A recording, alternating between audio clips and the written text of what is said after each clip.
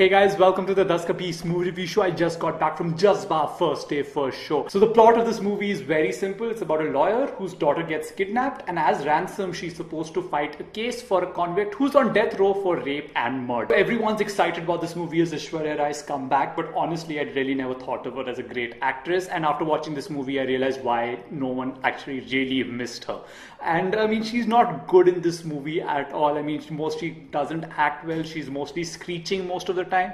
It sound kind of sounds like those, you know, Nazguls from LOTR basically running around and screeching and running around. I mean, there's some emphasis on her fitness because she became fat in the middle. Like, I mean, after she gave birth, she became kind of fat and everyone made fun of her. So that's why in this movie they're making, putting some emphasis on her fitness because the opening five minutes of this movie is like an instructional yoga DVD where she's doing all these poses and, you know, the stretches, yoga poses and jogging around saying, look how fit she has become. Besides her, the movie was also really bad. It's supposed to be a thriller, a suspense thing, but you really didn't give a shit about this movie. I mean, it was not gripping in any sense. They also heavily stylized this movie without much thought. It was very unnecessary. I mean, these fast cuts and, you know, color tones for different scenes and these long aerial shots of Mumbai looking really weird.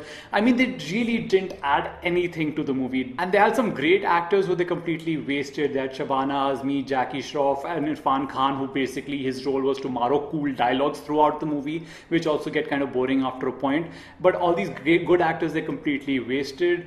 I mean, I think the movie was a waste of my time and money. I paid 180 rupees for this movie, out of which maybe 30 rupees I would have spent for Irrfan Khan's cool dialogues. Another really weird thing is that there's a special thanks to Abhishek Bachchan in this movie. And usually, when you get an actor as a special thanks in the beginning of the movie, uh, that means that they're going to make like a guest appearance in the movie, which he thankfully he didn't. I mean, I can't stand his face after all is well. So, yeah, I think it's time for me to say just bye to my Jazbaa review. Like and share the video, subscribe to Ugly Chaal Productions so you don't miss the next Das Ka Bees movie review. Show, leave a comment below telling me what you think about the review and the movie. If you end up watching it, we can have a discussion. Thanks so much for watching. I'll see you guys next Friday. Bye.